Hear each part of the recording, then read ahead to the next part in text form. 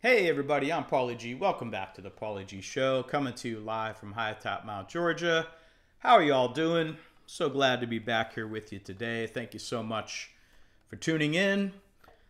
We're here today to talk about the Burny Gold Top Les Paul style guitar. We'll call it that for now. We'll get into the actual model uh, later in the video.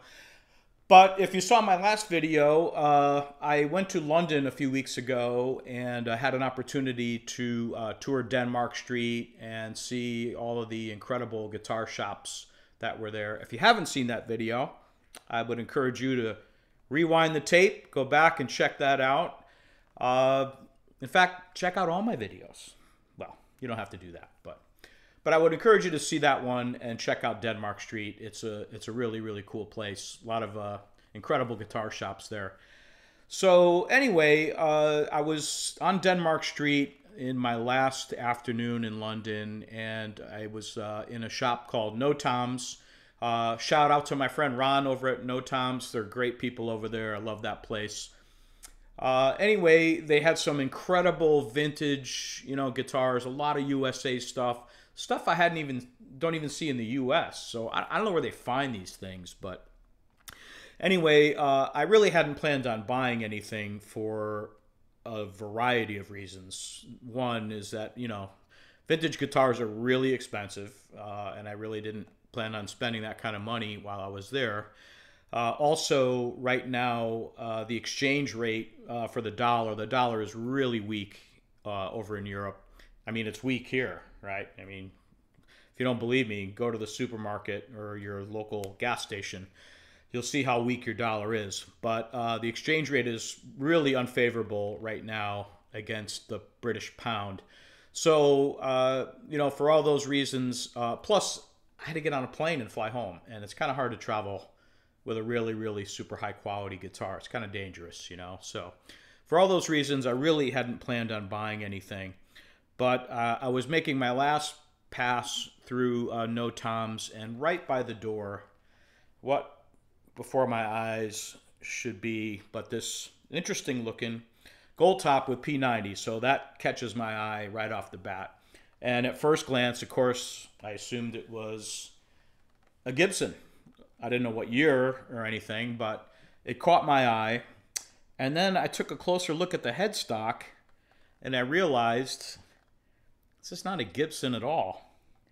It's a Burny. What's a Burny?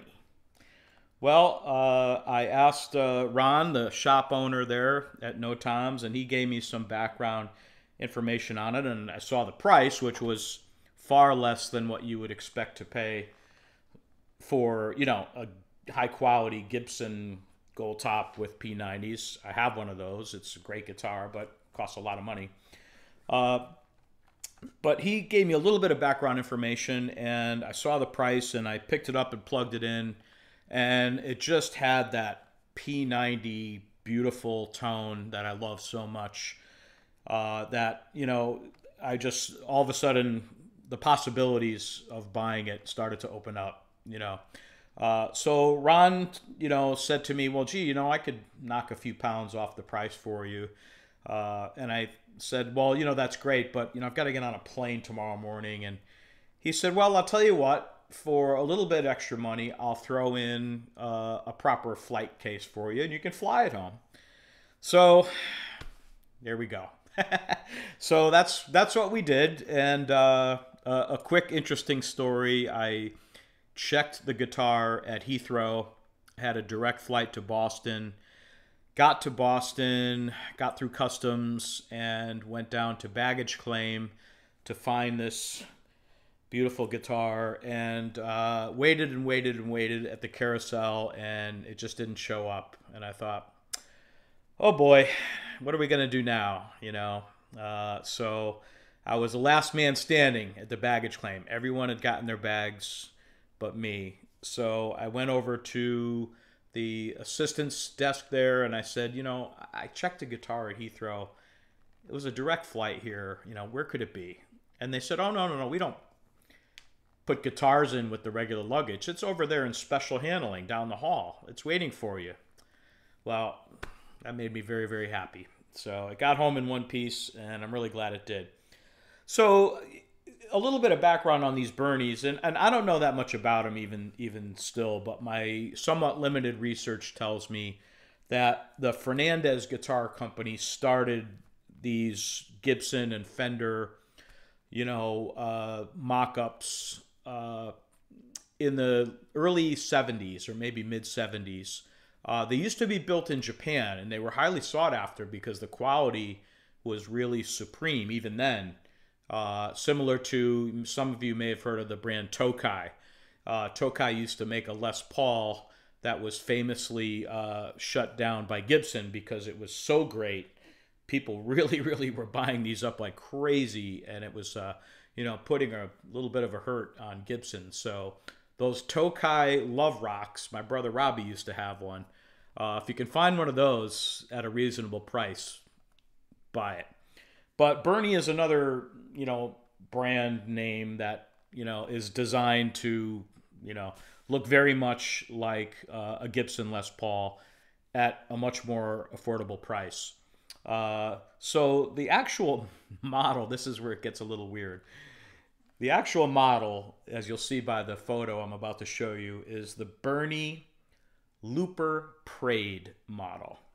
Now, as you'll see from the logo, it's designed to look like Les Paul. And I think they wanted it to maybe kind of say super grade, but that's not what it says. It says Looper Parade. What is Looper Parade? I have no idea. Whatever. I don't really care. the important thing is it doesn't say Gibson. There's no copyright, you know, concerns like you would have if you bought a Chibson that had you know made in USA on it and all those things that they do. Uh, but no, this is a legitimate guitar. I've never seen one before in the USA, and a quick search on the internet shows me that there's none for sale in the USA, at least not that I could see. Uh, so you know, these are more of a British thing, I think, maybe in a way. I don't know why. Uh, kind of like how you see a lot more Rickenbackers over in England than you do here in the USA. They really focus their marketing a lot. I know in the 60s and 70s uh, on the British market, maybe more so than the USA. Not really sure why. But uh, anyway, it's an awesome guitar. The, the pickups on it, uh, now in the, uh, doing some research, I saw that in the 70s, some of these even had Gibson pickups. I don't know where they got them from, but when they were making them in Japan, at some point they got a hold of some actual Gibson pickups and they were using them. I took these out to check. I was kind of hoping that would be true here. Uh, they're not. So these are made by some factory that's owned by Fernandes. I know not where. I know the overall guitar, uh, from what I can see, was built in Taiwan. Uh, so that's kind of what my research is telling me that they're uh, the Burnys now are being built in China and or uh, Taiwan. So so that's where this one you know came from.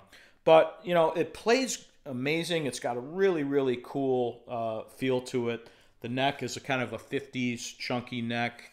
Uh, the back is uh, it looks it'll look black here, but it's it's not black. It's just like a dark brown paint, uh, and then of course the the gold top.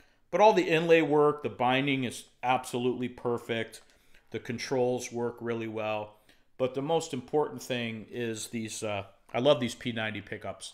I love the warmness of that front, you know, that neck pickup, and then you can really get, you know, the bridge to bark, you know, the way you want a P90 to bark. So I, I love P90s. You know, I'm a P90 guy. I'm guilty.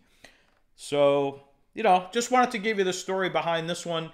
If you see a Burny around, you know, give it a chance. You may uh, you may fall in love with one of these. You never know. Uh, that's about uh, all I've got for now. Uh, I've got some travel coming up. I'm going to be uh, heading over to Germany very soon, so I may not be uh, making too much content from over there, and I certainly don't plan on buying any guitars while I'm in Germany unless I see a great deal on a Duesenberg. Now, those are great, great guitars. So, who knows what can happen? I, I will make no predictions. But anyway, thanks as always for tuning in. So great to be with you. And until next time, this is Paulie G reminding you that when it comes to guitars, you only need one. More. See you next time.